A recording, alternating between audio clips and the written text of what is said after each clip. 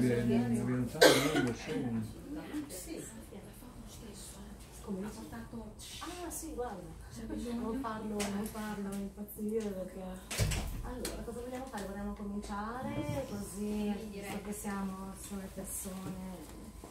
E quindi comincia la nostra moderatrice. Allora, buonasera a tutti,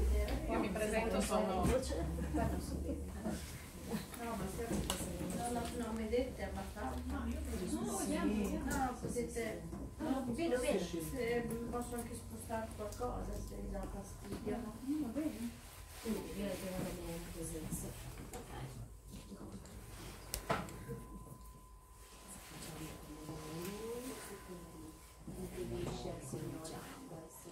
Quale? Chiede a lui. Che vede bene. Lei vedete bene lo schermo? Sì, Togliamo sì. qualcosa. Lo vedo, vedo.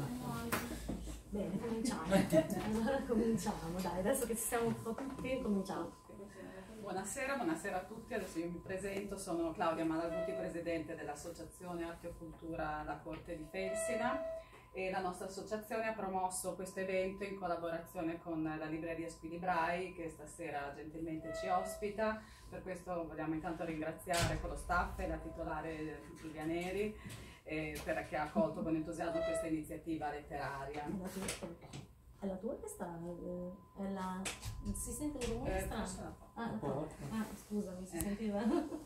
Il tema che abbiamo l'occasione di trattare qui oggi è il paesaggio ehm, della collina bolognese, la sua storia e lo stretto legame che questo territorio dell'Appennino tosco-emiliano ha avuto e tuttora continua ad avere con il pittore di fama mondiale Giorgio Morandi. Siamo qui appunto con la- l'autrice Annalita De Lucca, eh, storica dell'arte moderna e contemporanea, bolognese anche lei, e, ed è sempre appassionata della pittura morandiana oltre che alla storia di un po' di, quei- di questi territori. Ecco.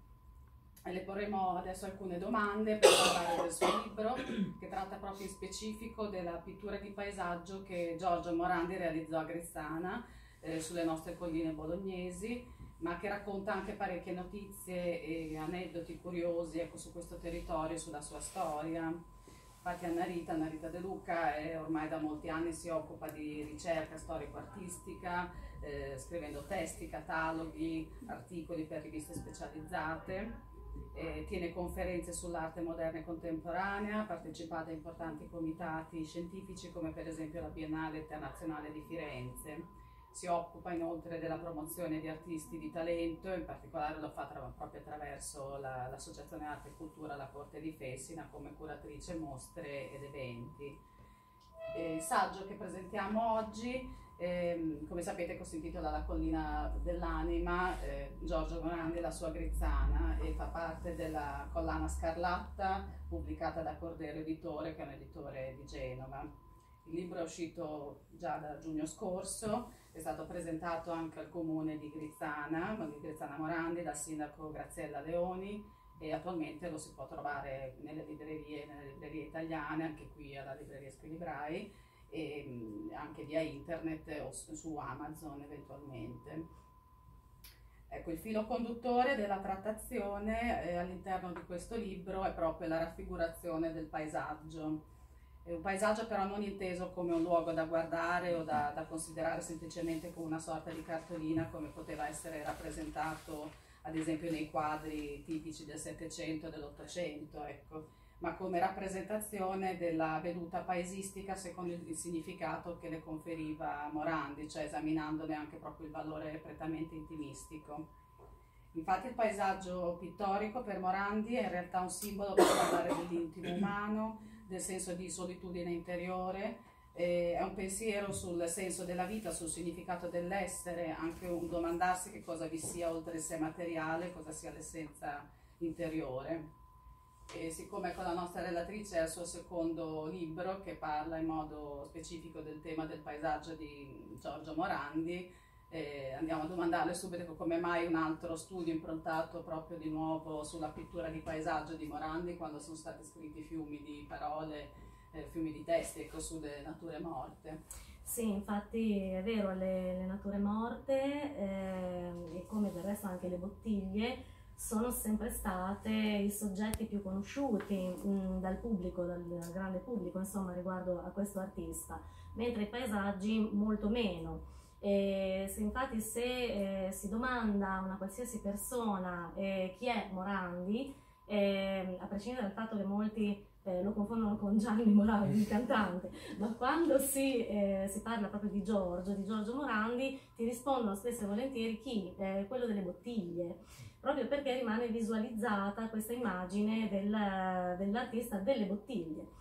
In realtà, eh, diciamo già dal lontano, oramai lontanissimo 1995, io realizzai questo libro eh, che parlava di, del, proprio della pittura paesistica di Morandi, ehm, che però era più eh, incentrata, aveva una, una, connotazione più generale, perché parlava non solo dei paesaggi di Grizzana come in questo caso, ma proprio di tutta la pittura paesistica di, di questo artista che eh, diciamo, eh, comprendeva anche tutta quella serie di, di, di, opere di paesaggio che riguardavano la città di Bologna, come i famosi cortili di Via Fondazza, eh, oppure ancora so, il ponte di, del fiume sul fiume Savena che ehm, eh, ha avuto anche una connotazione di particolare fama e importanza anche grazie allo studioso Lamberto Vitali che fu un grande amico di, di Morandi e che studiò proprio mh, in modo specifico, aveva scritto dei libri importanti, l'incisione, quindi l'opera incisoria di questo artista che è stato un artista di, di fama mondiale proprio anche proprio sul tipo, sull'arte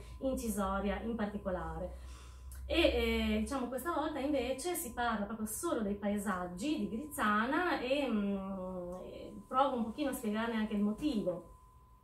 Diciamo che il paesaggio morandiano, bisogna dire che ehm, proprio la, come pittura, la pittura del, del, del paesaggio morandiano è un po' particolare, anche da spiegare, ed è più difficoltosa da comprendere rispetto appunto alle famose nature morte, eh, perché mentre le nature morte, quando mh, si osservano, e qui parlo proprio del pubblico, del grande pubblico, non solo degli addetti ai, ai lavori, insomma diciamo così, Mm, quando tu li osservi, queste, questi soggetti di, di, natura morta, come le bottiglie, insomma con questi fiori che lui realizzava, che poi vi farò vedere, e che molti conosceranno sicuramente di voi, e, ti, pre, ti, ti, prendono nel senso che ti portano automaticamente a chiederti per quale motivo ehm, quest'uomo, prima di tutto che, che, che questo artista, si cimentasse così assiduamente, in maniera si può dire seriale, perché Morandi ha rappresentato gli stessi soggetti per l'arco della, tutto l'arco della sua vita. Quindi ti, ti, domandi, sei portato automaticamente a domandarti perché eh, lui si cimentasse sempre a rappresentare questo tipo di, di, soggetti, che sono la natura morta, i fiori, eh, sono sempre quelle cose, le, le, bottiglie e poi dopo ne parleremo a parte dei paesaggi. Ma sulla natura morta intanto che la osservi ti fai delle domande e intanto che ti fai delle domande sei spinto ad osservare, a continuare a guardarla e questo avviene anche per, per, i suoi fiori, i suoi vasettini di fiori, le sue bottiglie. E, ehm, diciamo che eh, Morandi rappresentava quindi questi soggetti che erano mh, sempre soggetti molto semplici, anche poveri, mh, oggetti comuni, polverosi, questi fiorellini, diciamo anche fiori di campo, piccole rose appassite, in questi, in questi vasettini che si vedeva benissimo mh, di, di, di comunissimi, di nessuna importanza, e, ehm, e, diciamo appunto, ehm, quindi mh, rappresentano un po' quella che è la sua, eh, la sua interiorità dal punto di vista, diciamo così, di una,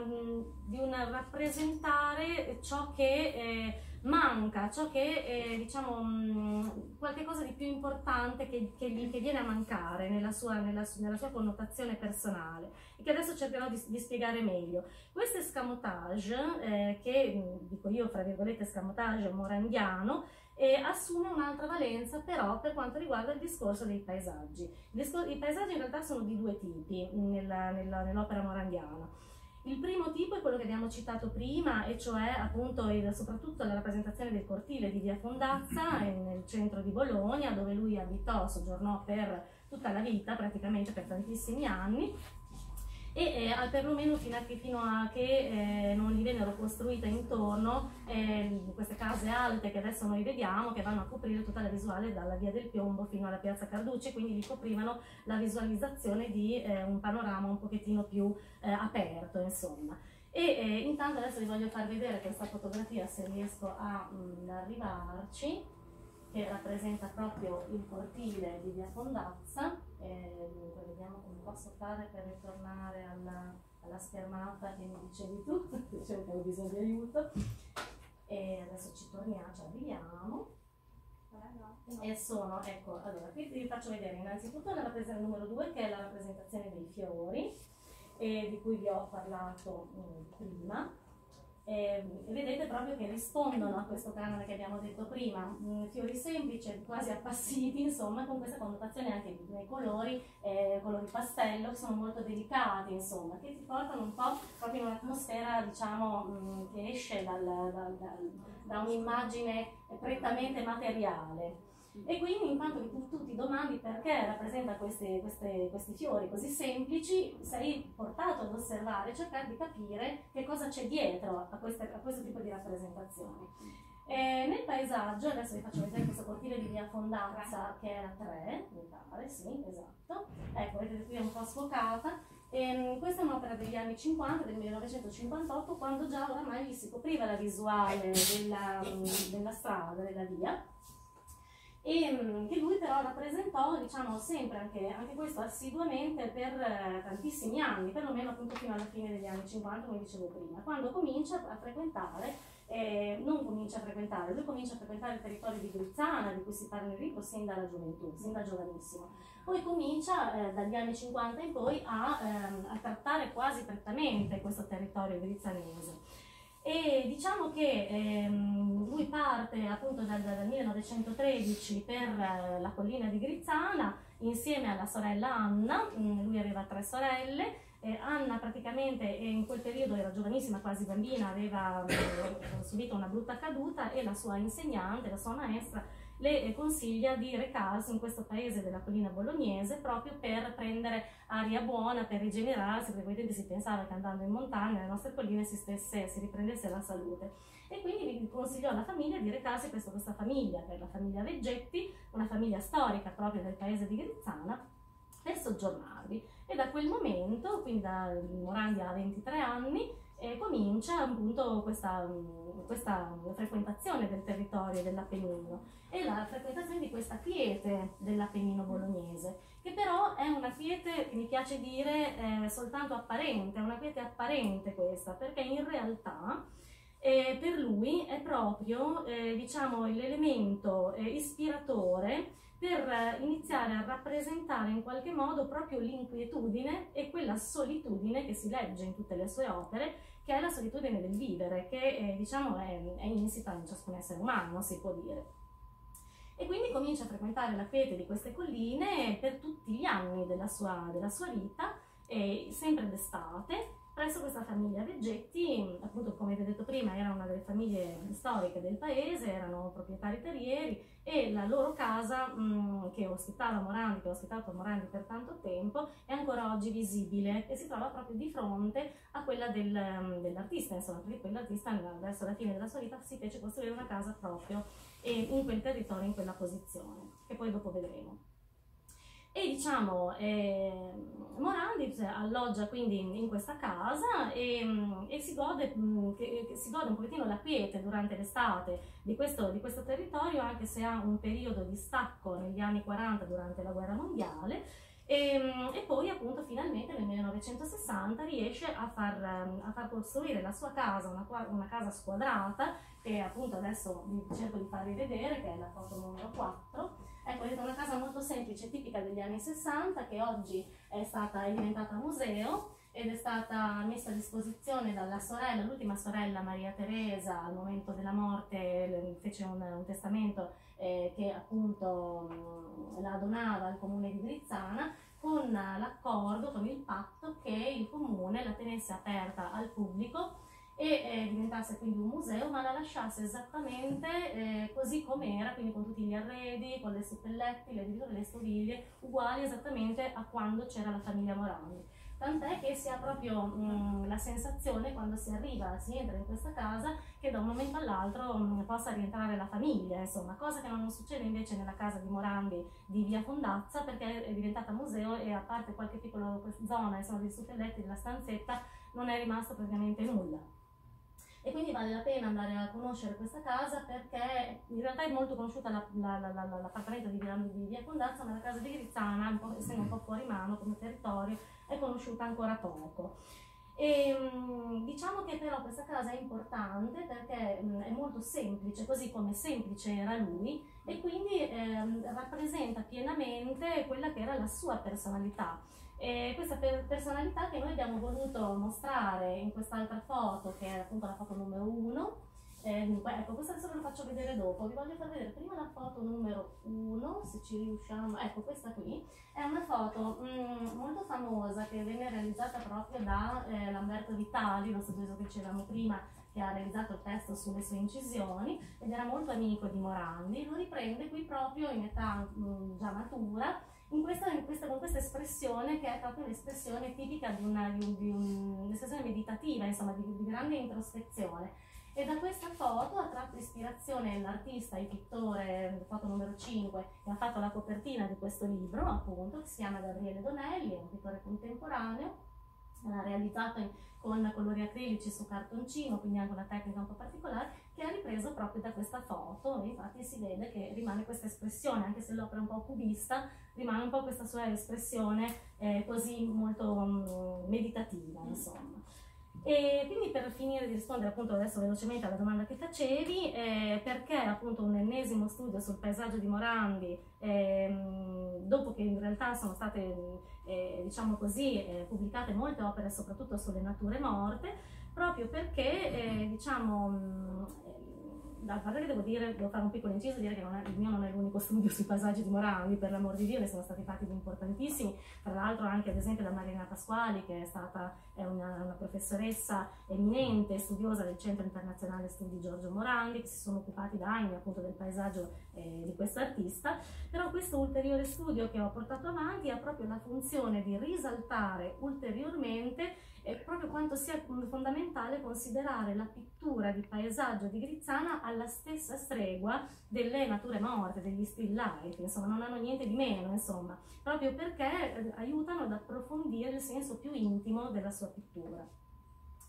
Quindi il paesaggio di Grizzana, non soltanto quello che è raffigurato da Morandi, ma proprio il paesaggio vero, la natura di questo territorio, osservata ad occhio nudo, è uno specchio, rappresenta proprio uno specchio per l'anima e non, sola- non soltanto quella di Morandi, perché in fondo Morandi, ehm, a mio parere, insomma, eh, non ha fatto altro che in qualche modo assorbire e rappresentare nei suoi quadri l'essenza della natura proprio di questi luoghi e quindi quella sorta di, lasciate passatemi il termine così, di fluido magico che emanano questi territori con loro, mh, con queste vedute estive assolate, c'è una luce molto forte, un verde particolare in queste montagne, sono delle distese ehm, infinite insomma, che ti portano veramente a meditare, a, mh,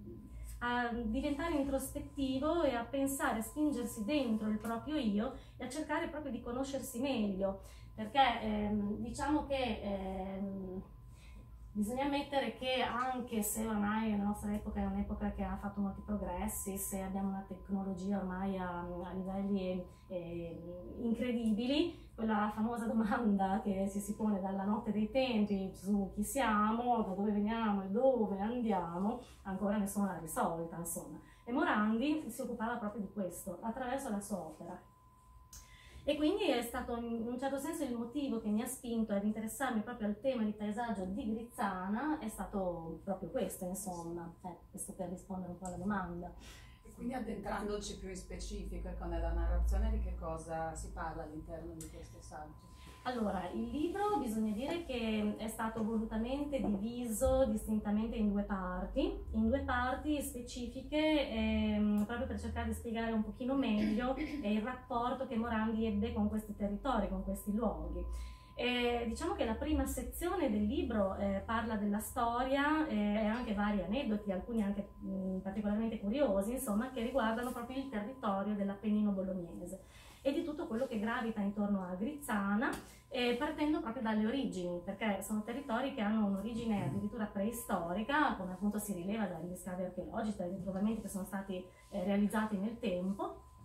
Quindi si parla di leggende, dei miti, insomma, di queste civiltà che hanno abitato questi luoghi, eh, soprattutto degli Etruschi, che hanno lasciato molte tracce del loro vissuto, appunto, e proprio della loro cultura, che ha segnato, come tutti sappiamo, proprio tutto questo contesto territoriale che si estende lungo la Valle del Reno. Come sappiamo bene, le antiche civiltà si estendevano proprio mh, lungo i corsi d'acqua, insomma. E, mh, e Marzabotto in particolare, il cui antico nome era Nisa, eh, fu e rimase un centro importantissimo proprio su cui gravitava la vita di questa civiltà, i suoi tempi. E dagli scavi, per esempio, della necropoli di Marzabotto, infatti sono emerse, come, come si sa, le famose tombe sormontate appunto da queste pietre. È la foto numero 6 che se riusciamo a far vedere, intanto la conoscerete sicuramente. Sormontate da questa uh, scultura a forma di uovo, che appunto è il simbolo del, dell'origine della vita, e mm, diciamo che questa, questa, sorta di monumenti funerari sono definiti omphalos, ossia pietra ovale, ed erano collegati quasi sicuramente al nome della dea Pale, eh, che appunto era una divinità etrusca della fertilità, che diede proprio il nome anche alla vetta di Montovolo, che è un monte che si trova proprio sopra a questa zona, molto in alto, molto sopraelevato, che eh, appunto porta questo nome Montovolo, che dovrebbe avere una derivazione dal latino mons palens, ovvero monte della dea Pale eh, che dagli scavi che sono stati effettuati risulta avere tracce di vita non solo romana ma ancora prima addirittura tracce di vita etrusca. Infatti se si va a Montovolo il santuario che è ancora tutt'oggi dedicato alla Beata Vergine della Consolazione ehm, fu da sempre meta di eh, pellegrinaggi molto, tra l'altro anche molto importanti e eh, molto assidui. E, ehm, ed è curiosa questa cosa perché il, il tempio, come spesso accadeva nel, nell'antichità, eh, diciamo la chiesa de, de, de, dedicata alla Beata Vergine, che, che, risale all'epoca dell'Alto Medioevo, fu eh, costruita molto probabilmente su, ehm, su, tracce di templi pagani, prima romani, eh, dopo romani, ma ancora prima ehm, di derivazione etrusca, sono, in base agli scavi che sono stati, sono stati effettuati. E quindi diciamo bisogna dire anche che questo santuario che si trova in una posizione molto elevata, ancora oggi è un po' difficile da raggiungere, si raggiunge tranquillamente in auto, però insomma si deve transitare in queste, in queste curve e, ehm, e, quindi pensando a, alle epoche antiche, quando la gente, quando le persone si muovevano questi, attraverso questi boschi impervi, insomma pieni di lupi e di cinghiali, per giungere a questo santuario, eh, fa capire proprio come eh, da sempre l'uomo ha, ha, sempre cercato, diciamo un pochettino la sua, dentro il mistero della natura, la propria identità, tanto da, da faticare per giungere, andare a costruire il più in alto possibile eh, questi propri santuari, questi propri templi, luoghi di culto, diciamo così. Quindi un po' nella, nella, prima sezione del libro si parla di queste cose, si racconta un po' la storia, le varie leggende insomma, che sono dislocate lungo questi territori nel tempo, si parla un pochettino di tutte queste eh, frazioni e luoghi intorno a Grizzana, come tipo, non so, Monte Acuto, Taverno, La Stanco, La Scola, sono tutti luoghi che si stanno riscoprendo e che sono stati costruiti con, um, grande, con molta probabilità, perlomeno molta, molta parte di questi borghi, da un, dai famosi maestri comacini che erano una confraternita di mastri muratori specializzati dalle origini ancora misteriose e diciamo che la, le prime tracce che risalgono a questi mastri comacini eh, sono, di, sono, di, epoca romana, addirittura una lettera di Plinio Cecilio che è scritta all'imperatore Traiano parlava, menzionava questi, questi maestri comacini come provenienti da Como, quindi comacini Como. Però non tutti gli studi che sono stati fatti sono d'accordo su questo e ehm, adesso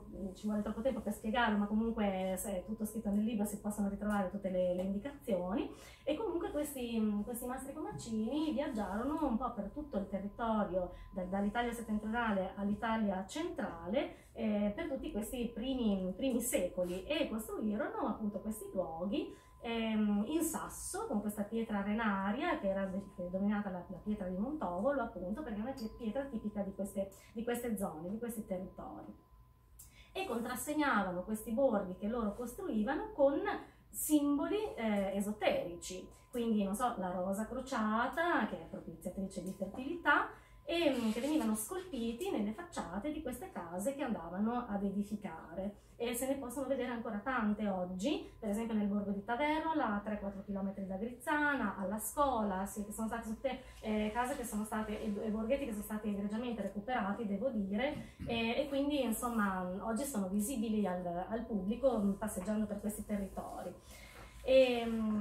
perché? Perché appunto mm, questi, questi mastri comacini erano dei viaggiatori insomma dal nord al centro Italia e viceversa che costruivano in quello stile romanico ehm, quindi delle, delle, dei borghi e, e, delle case che avevano proprio uno stile specifico, uno stile particolare che era il loro stile. Tra l'altro non posso dilungarmi ancora molto eh, perché sennò perdiamo veramente tanto tempo, pare e anche qui c'è tutto un capitolo dedicato, che proprio eh, i maestri, dai maestri, maestri comacini fossero mh, mm, con molta probabilità proprio gli iniziatori della massoneria. Quindi la massoneria nasce appunto dai maestri muratori e pare che ci siano molti eh, collegamenti con questi, con questi personaggi. Ecco, devo fare una piccola... Eh, sì, allora vi dico che sì, perché si parla dell'Inghilterra, dell'educazione inglese, eccetera, mi si stanno facendo degli studi e sembra proprio che questi maestri, che, la, la, cui origine è realmente incerta, c'è qualcuno che dice il termine si chiamano non, non, perché vengono da Como, ma perché lavoravano con un macchinario particolare per alzare la pietra, si chiama cum machinis, quindi con la macchina, che erano dei, dei, dei, insomma, eh, degli strumenti che loro avevano inventato e utilizzavano e quindi si stanno portando avanti una serie di studi per um, conoscere meglio un pochettino questa, questa um, congrega di, di, di maestri muratori.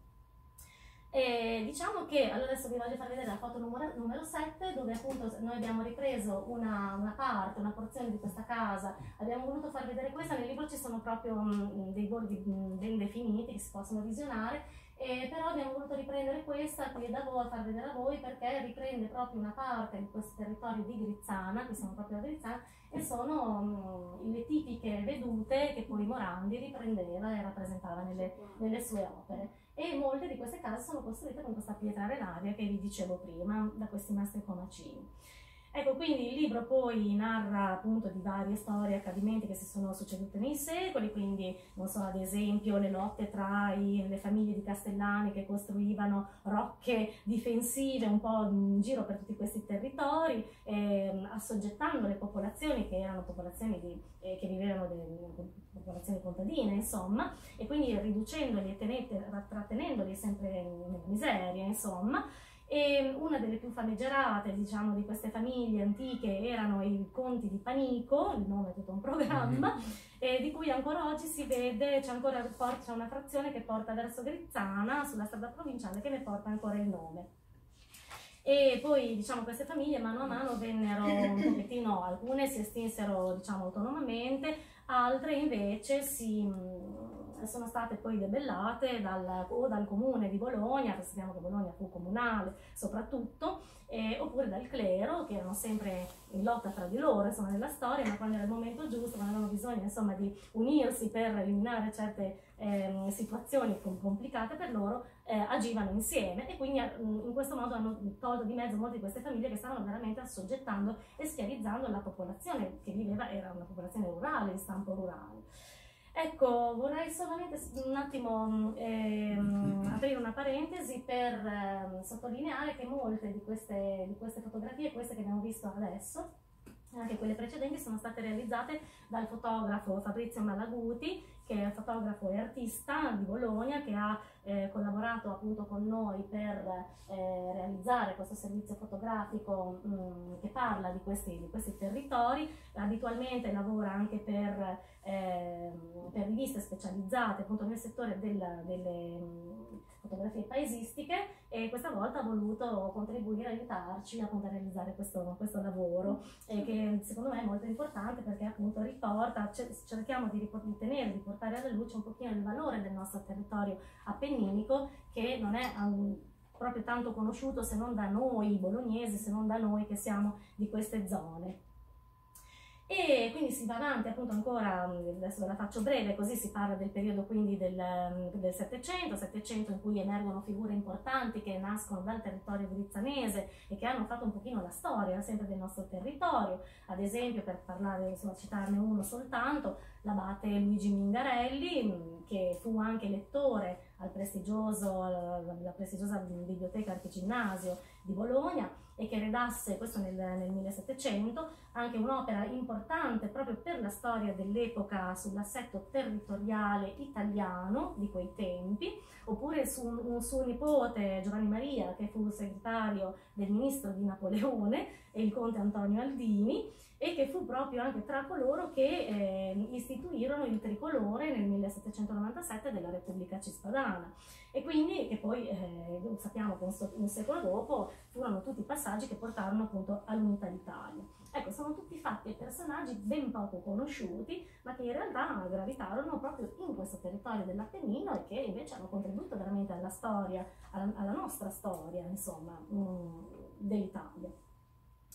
E mm, quindi si arriva, quindi, come dicevo prima, fino all'Ottocento, all'epoca della industrializzazione, eh, che appunto porta molto avanti con le, le filande, le, le, ferriere, insomma porta un certo sviluppo nelle, nell'economia dell'epoca, anche se in realtà mh, per la popolazione rurale, per la popolazione di questi, di questi territori, ehm, la vita rimane, continua a rimanere arretrata e qui si spiegano un pochettino questi passaggi ehm, che si verificano insomma in, in, tutto, in, questo, in tutto questo periodo.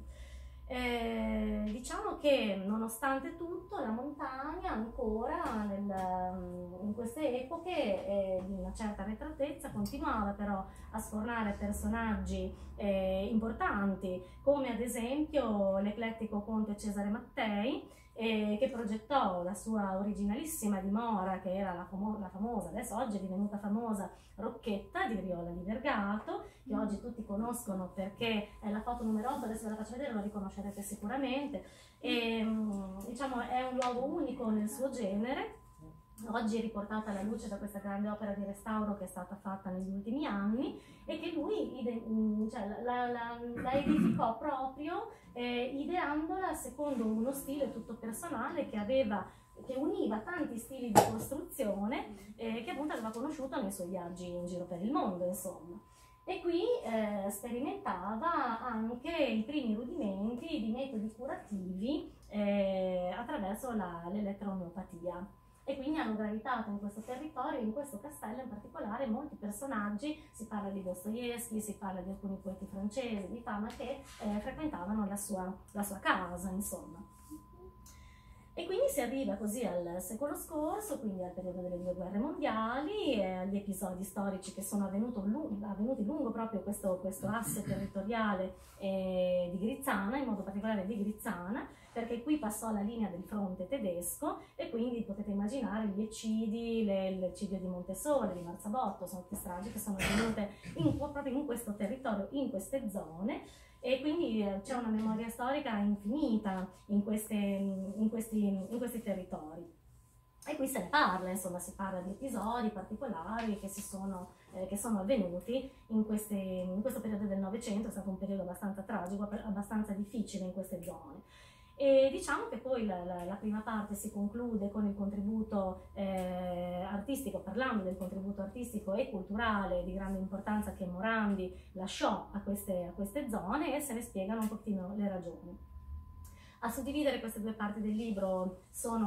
eh, c'è un nutrito apparato iconografico, perché sono più di una settantina scusate, di fotografie, alcune come abbiamo detto realizzate da Fabrizio Malaguti, altre che ci sono state concesse eh, con permessi da parte di importanti fondazioni come la Fondazione Carisbo, la Fondazione Congdon che ci hanno appunto dato la possibilità di pubblicare alcuni quadri, alcune opere insomma morandiane. E c'è anche una foto in particolare che è stato difficilissimo reperire perché è una foto rarissima non si trova da nessuna parte, che è questa foto qui che rappresenta Morandi il terzo da sinistra, quello più alto di tutti, perché Morandi era un omone, era molto alto, in un periodo giovanile della sua vita all'Accademia di Belle Arti, insieme ad altri quattro artisti importanti di Bologna dell'epoca, il primo a sinistra Luigi Severi, poi abbiamo Chiappelli, Morandi e poi questo piccolino qui, un po' più piccolino, qui a destra che è Gino Marzocchi, e poi l'ultimo di fianco è, è, Augusto Maiani, che aveva il famoso Nasica, che fu l'illustratore importante di, di Bologna. Proprio l'anno scorso, infatti, l'Archiginnasio gli ha dedicato una mostra, una bellissima mostra. Ecco, e con, e con questo chiudiamo la prima parte. La seconda parte del libro invece parla proprio della vita di Morandi nel territorio di Grizzano, a partire proprio dalla giovinezza fino alle ultime fasi della sua esistenza. E qui appunto entrano in gioco personaggi e aneddoti anche curiosi insomma, che lo riguardano, le critiche sviscerate che gli sono state rivolte insomma, negli anni anche da personaggi molto famosi della cultura, insomma, della politica anche italiana. E, ehm, per esempio si parla delle sue scaramucce con un altro grande della, della pittura, Osvaldo Licini. E addirittura si parla del suo arresto per brevissimo tempo, per una settimana, presso il carcere di San Giovanni Monte a Bologna, questo anche a sfatare un pochettino questa idea che si, ci si era fatti appunto nei, nei, tempi passati sulla sua figura, una figura molto schiva, eh, che non si interessava di nulla di tutto quello che appunto gli accadeva intorno. In realtà eh, negli anni, nel periodo giovanile, eh, giovanile, eravamo negli anni 40, aveva aderito anche a questo partito, il Partito d'Azione, era un partito diciamo, che non era né di sinistra, non era né comunista né fascista, quando invece in quel periodo imperversava, c'era il regime chiaramente, quindi erano in lotta le due fazioni, diciamo che questo partito era un partito che eh, si distaccava perché era un partito moderato, erano i primi preliminari, diciamo così, della, di quella che sarà poi in futuro la democrazia cristiana. E quindi inviso un po' da tutte e due le parti perché non si capiva bene come la pensassero e quindi lui fu a un certo punto accusato di cospirazione contro il regime, per cui viene imprigionato. E proprio grazie a, eh, al pittore Mino Maccari, Mino Maccari che eh, dirigeva una rivista Il Selvaggio, si chiamava Il Selvaggio, una rivista famosa degli anni 30 e degli anni 40, ehm, perché aveva proprio una connotazione artistica particolare e per questa rivista eh, la, la, illustravano artisti che poi diventarono famosi, uno, tanto per citarne uno, Ottone Rosai e mm, diciamo proprio grazie a Maccari eh, riuscì a mm, essere scarcerato in qualche modo insomma. E insieme a non solo Maccari anche altri mm, che gli diedero una mano diciamo così. E tant'è che a proposito di questo episodio, perché non, non, essendo uno che,